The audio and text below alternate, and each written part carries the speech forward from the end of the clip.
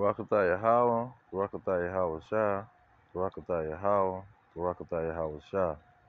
All praises to Yahweh, Ba'ashem Yahweh Shah, Ba'ashem Kakadash.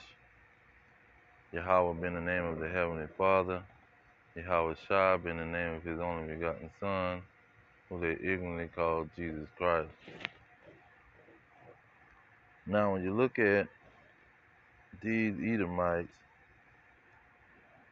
they have a description in the scriptures, and it's a simple and easy to understand description.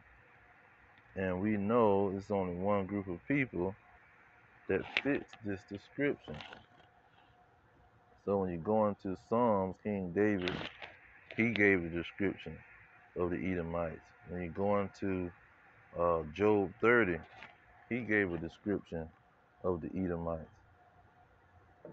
See, uh, Paul, Apostle Paul gave a description of the Edomites. Obadiah, Habakkuk, see, Jeremiah. The end of Jeremiah, he ended, Jeremiah ended his writing on the Edomites.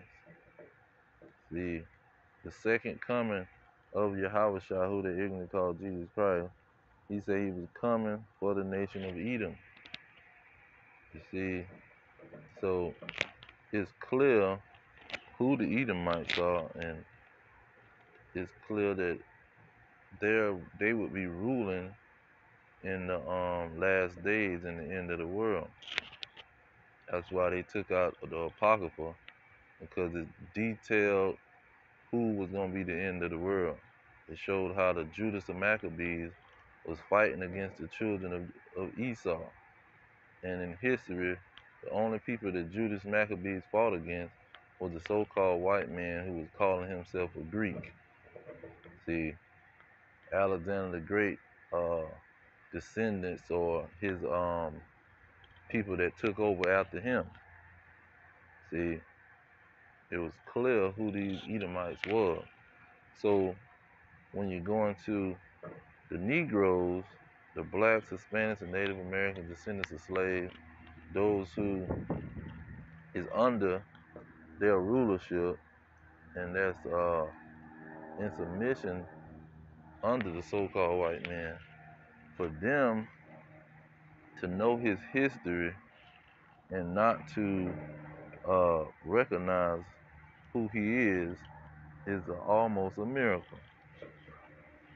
But the scriptures talk about those who uh, can't recognize who he is and don't uh, give him uh, or who, who can't identify him through his record, nobody's going to pity them. And let me get that scripture because that's pretty much what I want to bring out.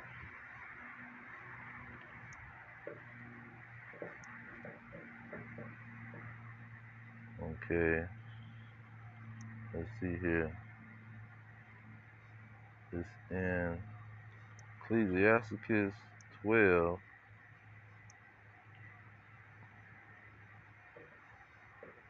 The 13th verse.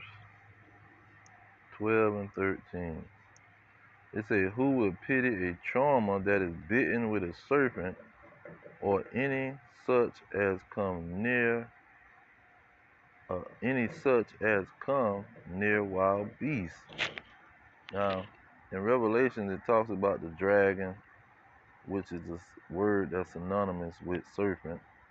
It talks about the great dragon and the old serpent, and it talks about the beast and so these individual um, descriptions is going to only one people. See, because the Lord made them to be this way, just like He made the snakes. When you talk about snakes, you know there's only one uh, animal that's that's uh, known to be with these same characteristics. He lay on his uh, stomach like a worm, and he wiggle around and he'll bite you with a venomous bite. Now, when you look at King David, what 58 and 3, he talks about these Edomites. He said, The wicked are estranged from the womb, they go astray as soon as they be born, speaking lies. Their poison is like the poison of a serpent. They are like the death adder that stoppeth her ear. So King David described these Edomites as serpents, as uh, what you call it, um, as snakes, pretty much. Now, when you go into um, go back to Ecclesiasticus 12 and 13, it says, Who will pity a trauma that is bitten? Now, when you get bitten by these red dragons, it's not nobody's gonna have pity. See, nobody's gonna have mercy on you. Because the thing about it is you knew the record of this animal. See, you knew the the um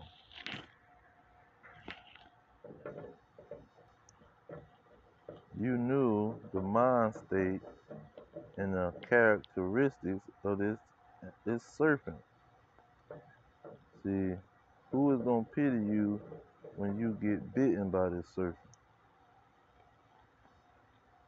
And most people know a serpent. They know his history. He's known for biting people. He's known for being sneaky and subtle, moving slowly, camouflaging himself. He's known as for being a cunning hunter.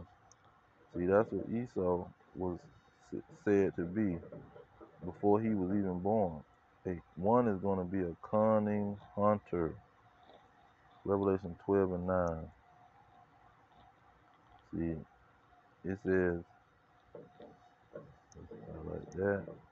The great dragon was cast out, that old serpent. See, he was always characterized as being a serpent.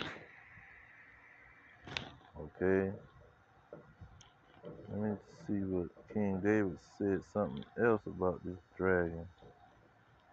Um, Psalm 64, I think.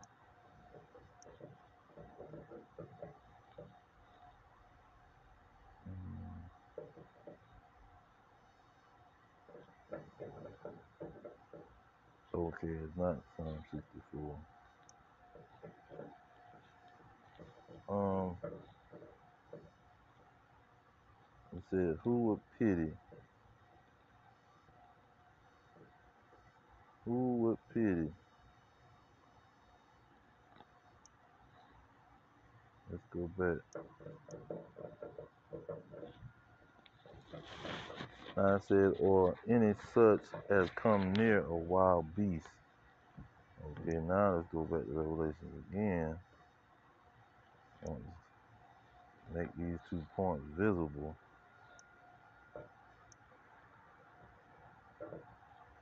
Okay.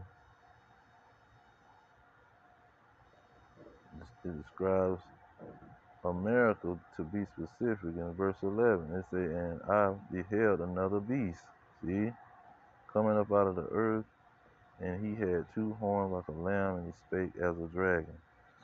See, he's just like that serpent, speaking lies, being deceptive.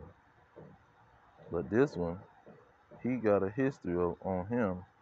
This beast has a history. Look at verse 10.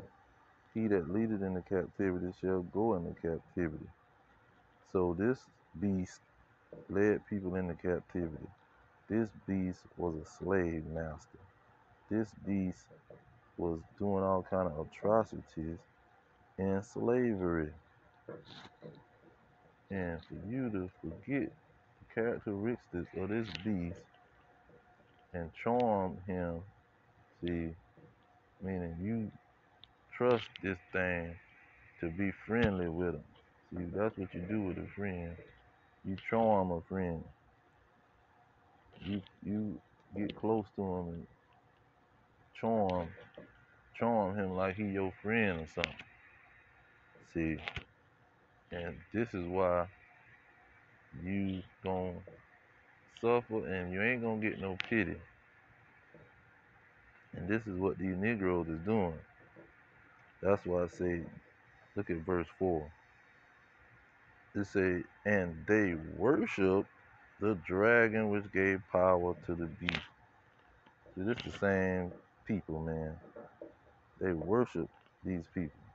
And that worship goes into respect, honor, admiration. See, this is what these Negroes do who is in captivity. They worship the so-called white man and trust and respect him on a level that they'll tr- put their life in his hands and knowing that he's a freaking serpent, that he's a snake or a freaking beast. He will devour you. See, they know these things and they still go and trust the devil. See, but that's what that verse is talking about. Esau, Edom, the red dragon, the serpent, the beast, the so-called white man. So I just want to bring that out real quick. All praises to Yahweh, by Hashem Yahweh Shah, by Hashem Kakadash. Double honor to the elders, Christian is true. Peace to the elect worldwide. Our kingdom is at hand. Shalom.